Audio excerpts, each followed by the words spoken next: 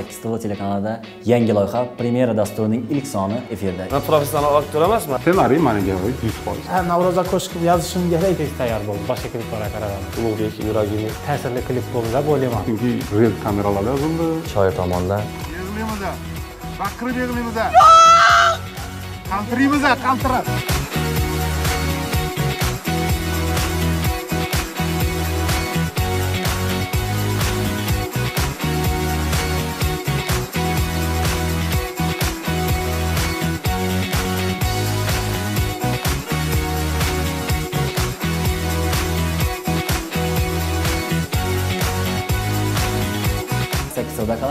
qaling davom eting hammaga rahmat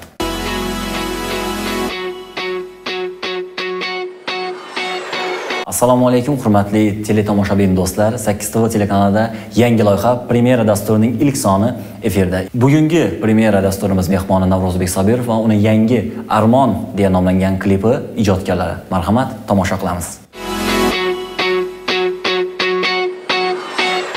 Avvalambor assalomu alaykum navro'zbek aka sizni ko'rsatuvimizni premyera ko'rsatuvini ilk sonda ko'rib turganimizdan bag'oyatda xursandmiz mamnunmiz.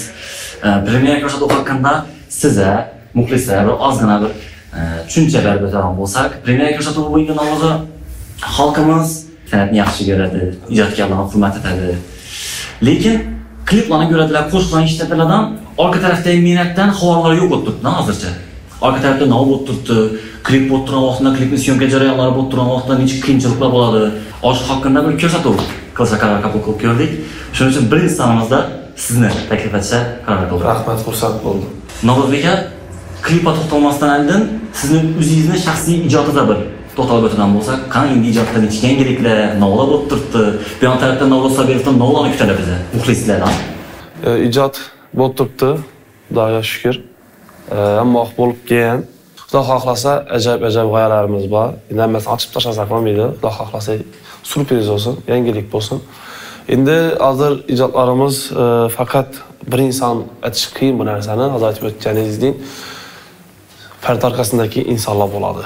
Bu konsert bo'lsin konsertdan masalan tayyorani ko'radi xalq orqada shuncha odam mehnatda turadi bu yerda klip bo'lsin boshqa bo'lsin masalan e, bu kuzatuvni bir yil man shu odamlarga minnatdorchilik bildirasim kelib turadi o'zi shu fursatdan foydalanib man bularga masalan rahmat aytaman. Endi oldin aytib o'tirsam hozir birisi yoddan chiqib ketsa xafa bo'ladi. Shuning hammasini rahmat aytaman ijodni hamma aytadi hamma san'atga ijod aytib turishadi lekin nima kuchimiz deyapmiz hozir ayni vaqtda navro'z sobirovdan salgina bo'lsa ham o'zini chiqarib o'tmaysizmi Endi hozir premyera bo'lgan klipimizda juda ham bir yangilik bor, xudo xohlasa. Shunda aytib o'taylik, shu klipda ko'radilar xudo xohlasa yangiliklarni. Undan keyin ham boshqa kliplarga bir-biriga o'xshamagan holda bir yangilik odi aytib turibdi yangilik qilamiz xudo xohlasa. Hamma klipimiz bir-birini yangisilamagan, bir-birini o'xshamagan holda odamlarni ko'rgan vaqtda "Ey, shu bolani g'oyalari boshqacha deb aytadigan bo'lishi kerak xudo xohlasa. Niyatimiz shu. klip haqida shu qo'shiq haqida bir qisqacha bir ma'lumot kim yozgan she'rini musiqasini kim bastalagan klipmeyker kim shu haqida ozgina Ee, klipmekerimiz Danyar, dostumuz, montajchimiz Ulug'bek Ibragimov. Ee, qo'shiqqa keladigan bo'lsak, Farruh Sohib. ming burni Avan, Elmar, yurtdoshlarimiz. So'zi, musiqasi do'stimiz. Avval ham ko'p ishlashganmiz, hit qo'shiqlarimizni yaratgan. Ee, o'zi bu nima desak, real voqea asoslangan. Hayotda bo'lgan klipdan ko'radilar. O'sha ayolni aktrisa qiz o'ynadi. Masalan, boshlanagan voqealar, u hayotda bo'lgan voqealar. Shunga asosan klip ham ishlanib, qo'shiq ham shunday yozilgan birovning hayoti bu. demak siz hozir klipdan muxlislar katta narsa kutishi kerak shuni Albatta. belgi berib turibsizdan to'g'rimi nima u misol uchun ish bilan ish qo'shiqim mani boshqa qo'shiqlardan ajralib turadi deb aytib biljaksiz to'g'rimi Albatta. ajralib chiqadi xohlasa. nima ajralib chiqadi? Tabiiyligi bilan yurakdan aytilgan qo'shiq birovning hayoti. Men uni ko'zim maldanaga aytganib aytganim, boshqa qo'shiqlardan farq qiladigan shu yeri klipdan ko'radilar.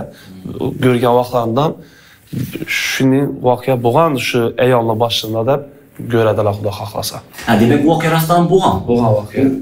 aytilmaydi lekin Yo'q, endi ko'rsalar xudo xohlasa. yo'q misol uchun sodir bo'lgan voqea kim bilan sodir bo'lgan kimdan sho'rlar omamiyat chetda narsalar E, shu o'zlarimizni. Ha, lekin aytilmaydi Bu dunyoning har bir chekkasida bo'lib turgan Ya, bo'lib turibdi, endi Har bir siz- insonni boshidan tushishi mumkin bo'lgan voqea. Hmm. Shuning uchun har bir ko'rgan muxlis man ham boshimdan tushishi mumkin deb обязательный u narsadan ta'sirlanadi deb o'ylayman Xo'p, klipdagi rolingizga keladigan bo'lsak, rolni bilamiz, o'zingiz ijro etdingiz. Hmm. Birinchi savol, nechun o'zingiz? Yo'qmi, aktyor aktyor topmadingizmi? endi aktyor topsa ham bo'lar edi poytaxtimizda aktyorlar ko'p man u voqeani eshitgandan keyin u insonni boshidan voqea kelgandan keyin u narsani man ichimda his qildim his qildim man o'zim o'ynasam keldi to'g'risi man professional aktyor emasman lekin man shunday bir kinolarni ko'ramandan aktyorlarni ko'rib man yoqlarga havas qilaman bu yerda kamera bormi? Yo'qmi ekan deb hayron qolaman. Bu haqiqiy o'ynab turibdi deymanda ular ham demak bir narsani his qilib o'ynaydi ekan. Man shuni anglab yetdim. Bir narsani his qilsang bir narsadan ta'sirlansang uni chiqarib bilasan. U qo'shiqlar bo'lsin rol o'ynaganda bo'lsin bo'lsin uni saftaligi bilinib qoladi. Yurakdan chiqqan qo'shiq shu uchun ham muxlislarga yetib bormaydi partnyor bilan distansiya saqlab turib ishlashish qiz bilan yo'q qiynalmadim. Nima uchun desa partnyoring kuchli bo'lsa qiynalmaysan ekan man shu o'rinda omadliman desam bo'ladi Ha, demak siz Şöyle kerak bo'lsa doktor. natijam turdi. Partnyor birga Valla, turdi. şöyle ben Mekkam- Turdi. rola girishimga yordam berib turdi Endi bilamiz, siz bilan hozir sizni kliplaringizda, qo'shiqlaringizda sizga yordam berib, yoningizda turgan odam bu og'angiz. Firuzbek Sobirov. Og'angiz bilan ishlash jarayoni ish ko'p turibdi. ajoyib ammo biz avvalda ishlashib kelganmiz avval akam bor edi joy jannatda bo'lsin akam man og'am edik hozir og'am ikkimiz yana yordamchilarimiz bor endi o'zi bo'lmaydi bu narsani to'g'risi bu ko'rib o'tirgan san'atda tushiradi odamlar biladi. San'at mana katta. albatta. Mehnatni qildik xudo xohlasa. Muxlislarimizga havola qilamiz. Ko'rsalar klipni xudo xohlasa ta'sirlanadilar deb o'ylayman. Inshaalloh Navro'zbek aka, rahmat tashrifingiz uchun.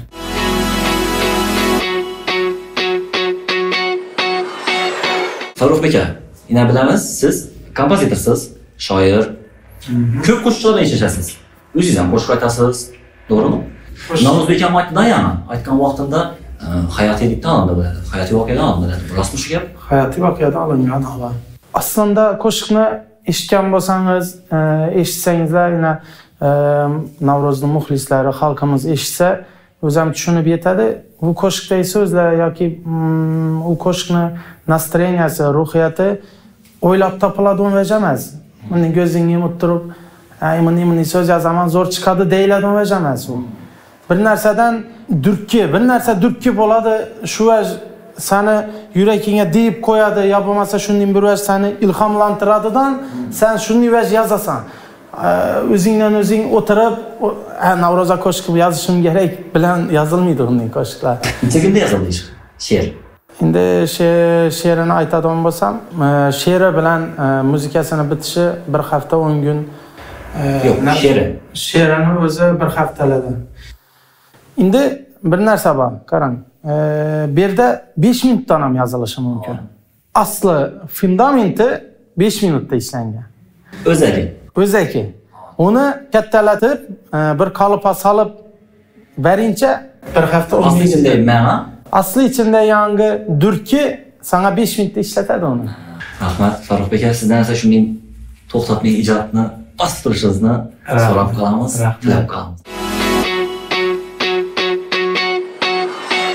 Asqanbek aka yana qo'shiq eshitdik. Buni sababi menimcha sizni studiyangizda, sizni jamoangiz bilan bog'liq bo'lsa kerak, menimcha. Nola bo'ldi? Nolani amalga oshirdingiz? Shunday bo'lib chiqishi uchun.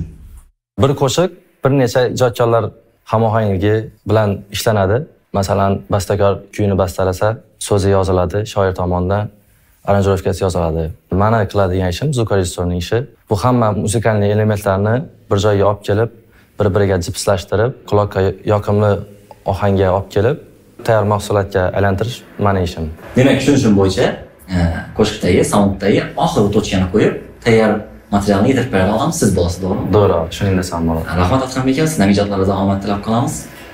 sog' bo'ling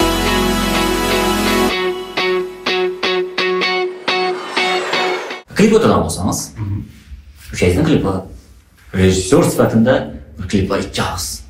klipda endi yangilik shundaki hech bir klipda bo'lmagan obraz yaratildi birinchi navbatda Klipni surat olish uchun adashmasam poytaxtda bo'ladi, to'g'rimi? poytaxtga Toshkentda tushirildi.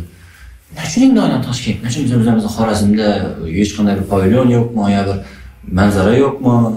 Bu klip ishi manzaralar bilan bog'liq kadringiz chiroyli chiqishi kerak chunki e, red kameralarda yozildi.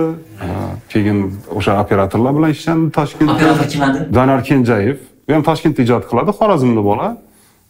Juda ham bir birimizni yaxshi tushunamiz. Bu xorazmliklar ijodi agar xorazmliklar bilan faxrlanajak bo'lsangiz xorazmliklar ijodi bu. Sizni asosiy vazifangiz. E, ssenariy manga oid yuz foiz.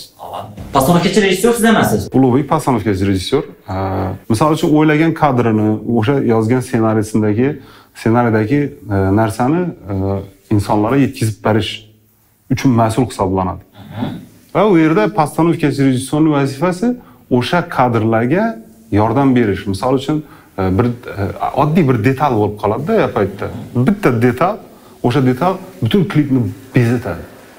Bu narsani rejissyor farq qiladi. Va postanovkachi rejissyorga murojaat qiladi mana shu narsani qilsak Texnik taraflarni yaxshiroq tushunadi. ha u texnika taraflama uni ta'minlashda kimdan topsa bo'ladi bu detalni topilmaydigan bir ikki detallar bo'ladi faqat kliplarda ko'rasiz buni Demak, Feruzbek Sobirov, e, Navro'zbek Sobirovni Armon qo'shig'ini klipini rejissyori. Rahmat ag'a bundan keyin ham sizdan xudo xohlasa intervyular ko'rishlik bo'lib qolamiz. Yangiliklarni kutib qolamiz. Bundan buyon Navro'zbek Sobirovga bog'lanish kerak bo'lsa, birinchi o'tirib sizdan rejim o'tamiz ekan, bu meni bu qiladi. rahmat yo'q nafaqat navro'z bilan boshqa e, ijodkorlar bilan ham ishlashga tayyormiz lekin e, iloji boricha o'sha nima deymiz e, birgalikda ishlash uchun kerak bo'ladigan ba'zi bir samimiyatlar bo'ladi insonda ba'zi bir hurmatli bir birini hurmat qilish ba'zi bir nozik jihatlar bo'ladi yaxshi ish qildik deb o'ylayman yaxshi bir e, natijaga erishdik deb o'ylayman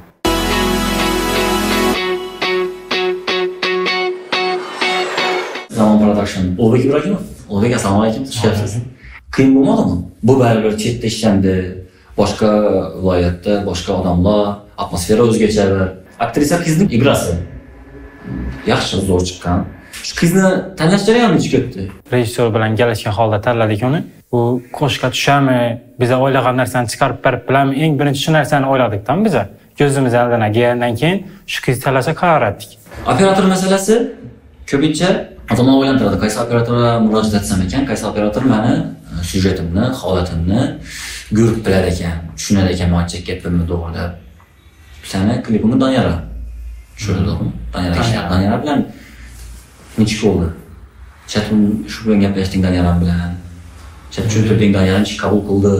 Sen ichingdagi narsalarni tushundi, shu narsani. shogirdaman shu donyara ishi zo'r professional bo'lgani shu donyarani tanlasa qarar etdik Ko'ngling to'ldimi? Ha, kadrlardan ko'nglim bo'ldi Yo'qda, o'sha montajda yaxshi. montajda xudo xohlasa ko'rib bu xabar aslar Montaj jarayoni necha bo'ldi? endi montaj jarayoni ko'p cho'zilmadi nechun desa ko'zimni oldidan ketmaydi shu voqealar syomka bo'lgan narsalar shuning uchun osat bo'ldi men uchun bu klip ham desa tez tayyor bo'ldi boshqa kliplarga qaraganda Biza nima o'qishimiz kerak bu klipdan? Necha bo'ladi aslında?